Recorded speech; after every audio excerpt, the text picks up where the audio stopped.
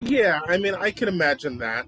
I mean, yeah, I can imagine that. I mean, you know, some of them definitely have have uh, headgear on and stuff, but yeah, I can imagine some bad injuries, hmm especially if you're trying to do trying to do tricks on them. Have you ever have you ever been on a motorcycle?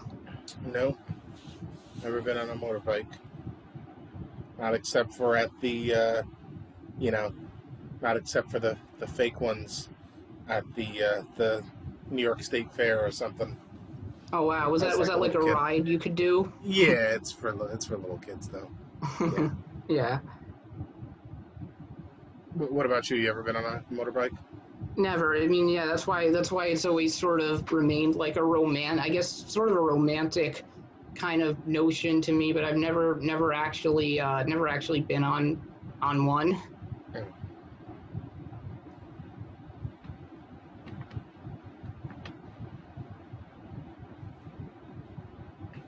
Just just a regular bike would be nice. Now that I now that I think about it, I haven't actually even even biked, even done even been on a regular bike in, in years. And I I, I kept meaning to I kept meaning to get one when I was in the city, but never uh, somehow never got around to it. I um I should I should I should look into that because even just just biking was one of my favorite things to do Yeah, as a kid. Like there was yeah, a big true. there was a big our house was at the bottom of a big hill and i just loved to uh, i just loved to go down that hill at top speeds Yeah, I remember I had some speed stuff when I was young. I mean, one day I took it.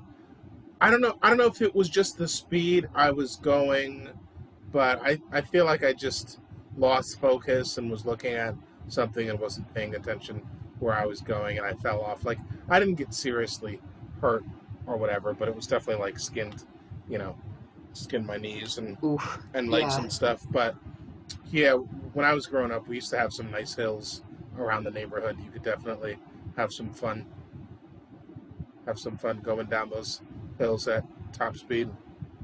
oh yeah yeah i miss i miss i miss that it's just like a real adrenaline rush Yeah.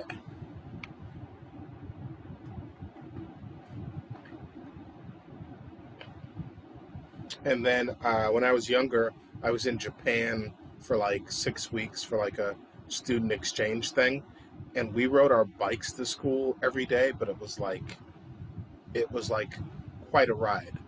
I think it took us like like an hour to get there or something. oh that's really cool Yeah. in japan um i mean i imagine where where where in where in where in, where in japan were you Uh, it was a place called Kanagawa Ken. Oh wow. Was that um was that like I mean all of pretty much all of Japan is like like very very urbanized like it's a very like densely populated country Yeah. right Yeah, this was um yeah, it's a very densely populated country. I mean, the, uh, especially if you get up to the fourth island, uh, there's like mountains and stuff like that. But I wasn't on the four. I was like on the second island.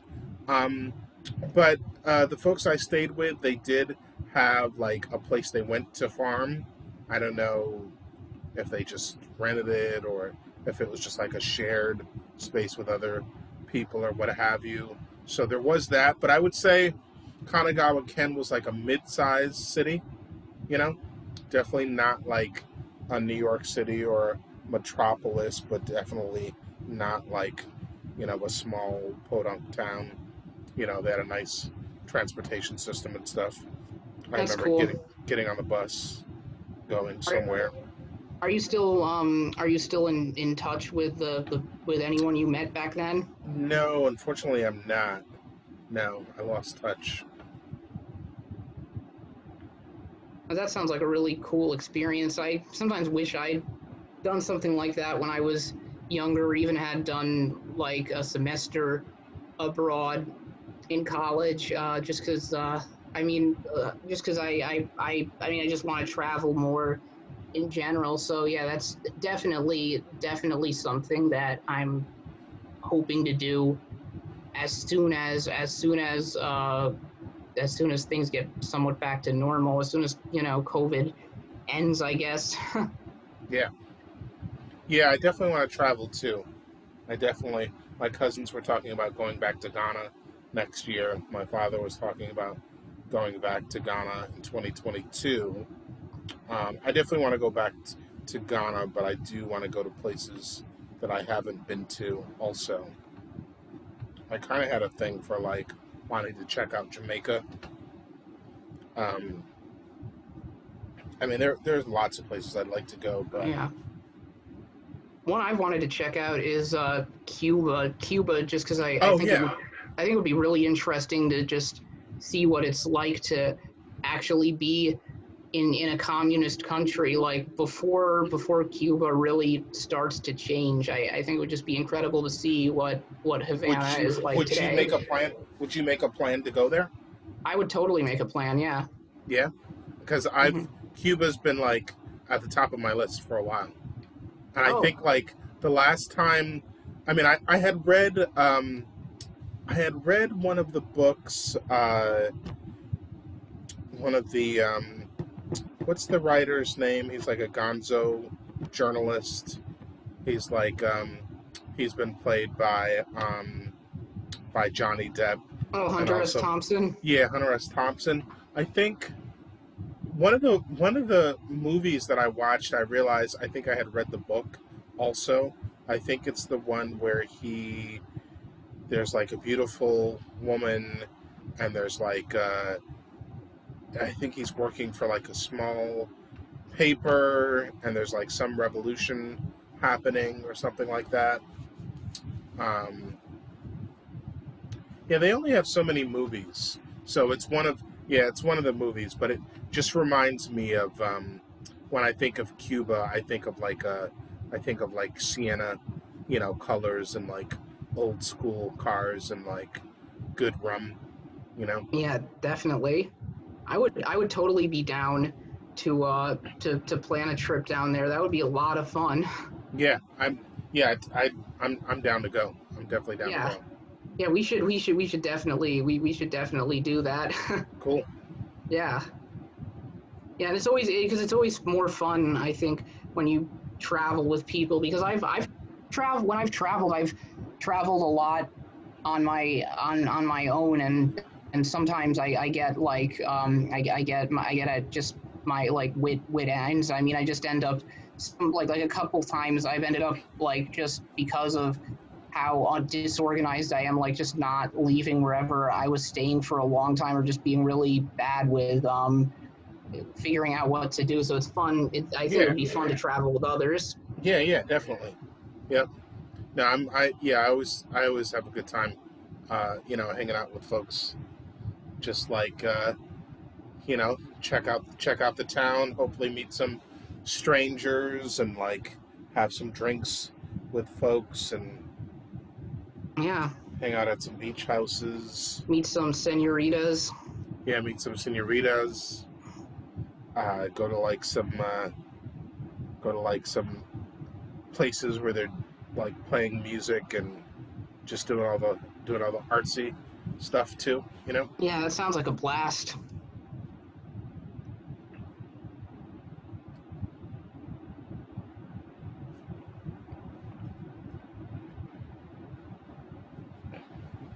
Maybe see the uh, see the doctor while you're while you're down there. Take Yeah, advantage. exactly. Of the, take advantage of the healthcare.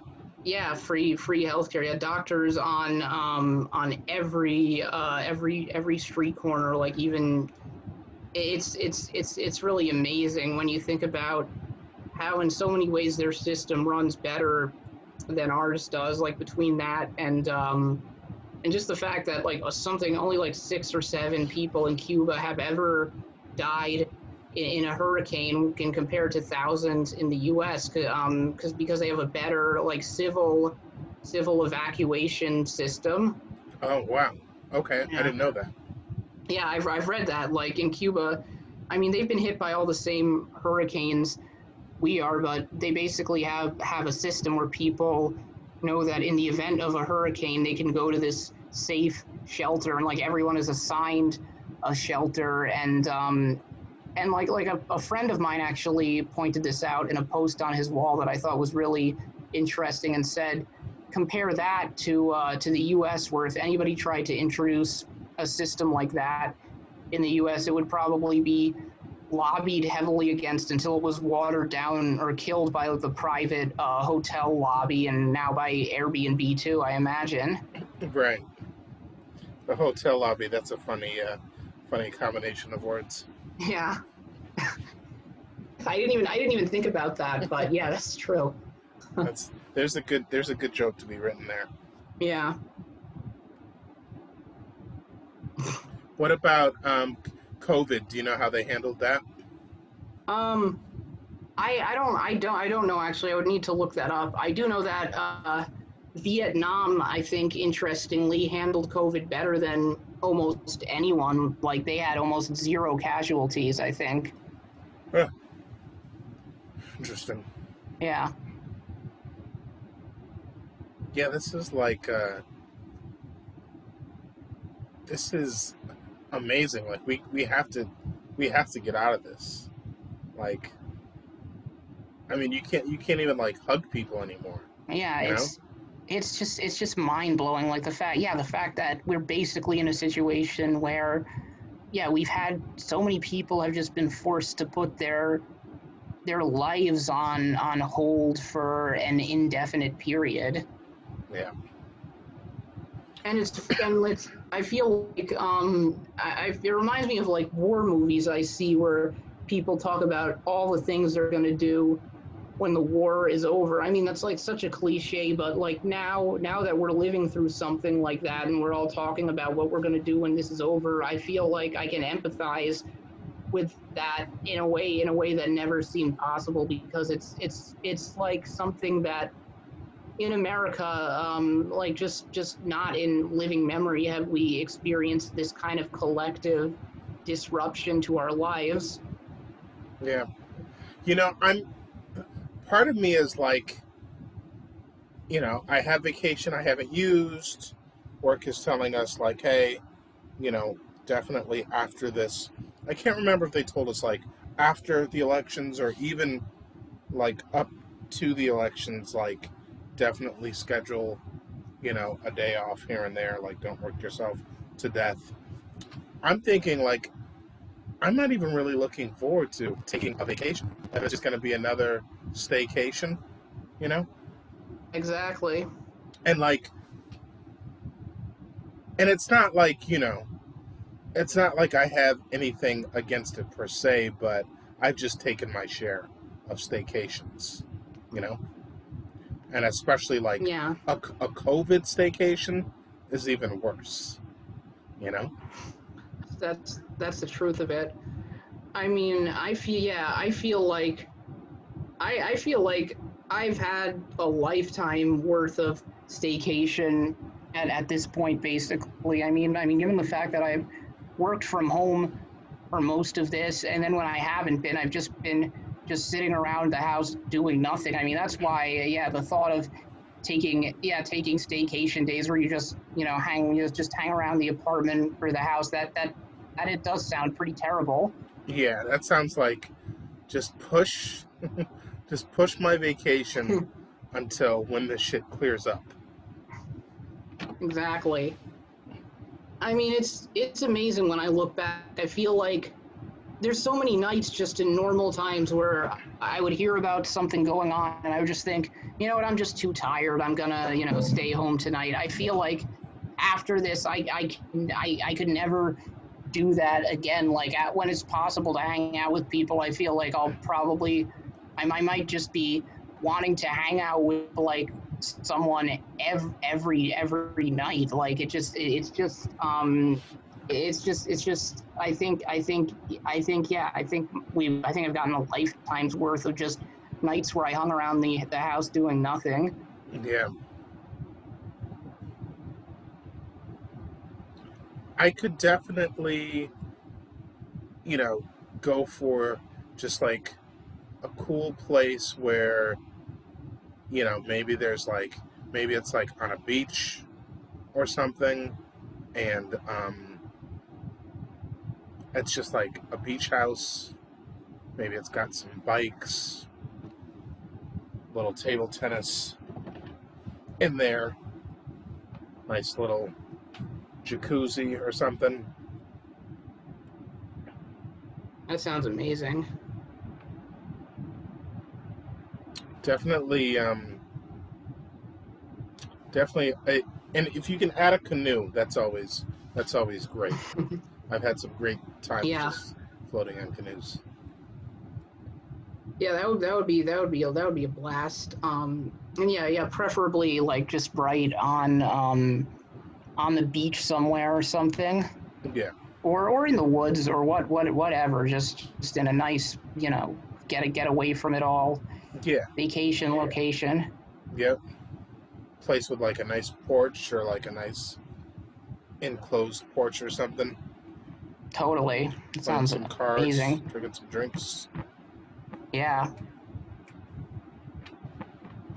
All right. Well, we should stay Yeah, we- on this. Um, stay on this plan for Cuba. yeah. Let's not- let's Now that I finally have a uh, passport, you know. Yes, and I will get I will get mine renewed. We'll we'll definitely definitely look uh look look toward look towards that at some point in the next couple of years, hopefully. Cool. Yeah. Yeah. Yeah. Well, let me, yeah. Let me know how soon, because you know, like if things clear up, you know, I definitely like to go sooner than than later. Um, Yeah, me too. Actually, absolutely. Um, let's see. What was I gonna say? Yeah. So I'll check.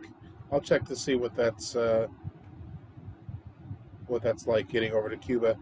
Um, yeah, I might even like, you know, want to go for like a little while. You know, just Oh, like I- blow uh, blow like a week or two or something. Totally. Yeah, and that that would that would be a fun thing to look into, like what you were sort of envisioning. Like if if we could, you know, find a situation where you can like rent rent a house along along the along the beach for like a week or something. hmm Yeah, that would be dope. Totally. Yeah, even if you have to like invite more people and like split the cost or or something, you know. Yeah, the more more the merrier. I mean, maybe maybe that maybe that would be where we did our our in person show, just live. It's that ish live from Cuba. Oh, that would be cool. That would be very cool. Yeah, that's a, that's a great idea. totally. Word. Okay. Well, we'll put that into the uh, put that into the ether. See what folks uh, think. Absolutely, yeah. That's in, in the in the um in, in the ideas basket. Like as soon soon as it's possible, just let's just end COVID. So stay stay stay home, stay home, everyone, and, and your reward will be an in person show live from Cuba for, for all, all seven of our fans. Yeah. Hopefully more fans uh, at some point soon. Yeah. That's why I think um I, I think I think that I think that's something a way of I don't know maybe boosting audience would be to uh, just have like that marathon election night show. Um, you know, it'll be a lot a lot more fun than uh, a lot more fun than than CNN or or what have you or any any of the networks you could be watching. Yeah. Well, you know, um, yeah, that's an interesting thing. Maybe one way I can boost the show is like some of the people that I'm making phone calls with. You know, I can like invite them onto the show. You know, That's a really good like, idea. yeah, Yeah, like you guys help make this happen and you know and they could tell some of the stories. They'll definitely have stories of some wild folks from wisconsin who uh you know said some said some wild stuff to them on the phone. I think that I would think be that would make for an awesome election night show. yeah. Word. I, I think i'm gonna start uh start putting that out there. Cool. And hopefully, hopefully, as many of us uh, could be could be around for that as possible. Yeah. Yep. So the interesting thing is that night we're probably we're probably not what do you think? We're probably not gonna know the results of the election until you know, maybe a few days out. Unless it's That's a true. blowout. That's true, yeah, and um, Right. you, yeah, I mean, even and even if it is, even if it is a relative uh, blowout or a relatively comfortable Biden win, yeah, we might not know just because of the uh, mail mail situation with the mail-in ballots. So, Yeah. um, Yep. So so yeah, we're gonna. Um, I mean, we might have a good, we might have a fairly good picture of it based on projections. But yeah, the night itself definitely gonna end on an uncertain note. Yep.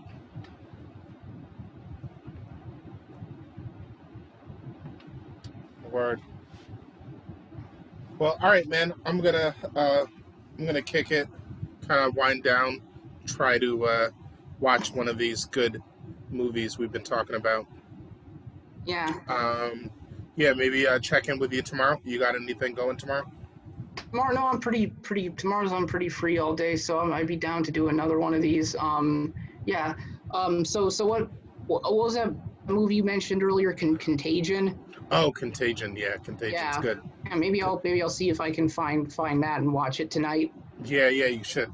Yeah, I'd, Mhm. I'd definitely be interested in uh, what you think about yeah, it. definitely. I'd be down. That, that'd be a fun thing to talk about.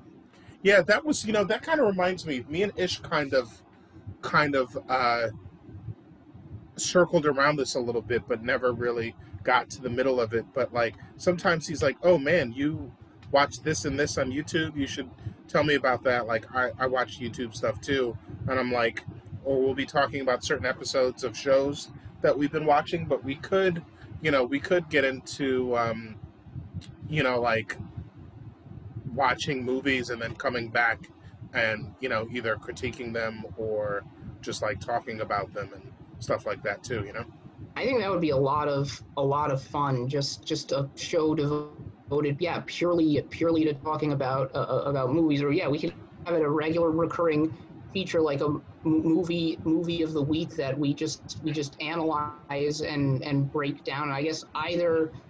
I guess we could do both. I mean, I mean, I guess you were. I mean, I, I mean, it would be fun, yeah, if we all watched it separately and then talked about it. But then maybe we could also have a segment where we do it like Mystery Science Theater Right. 3000 style.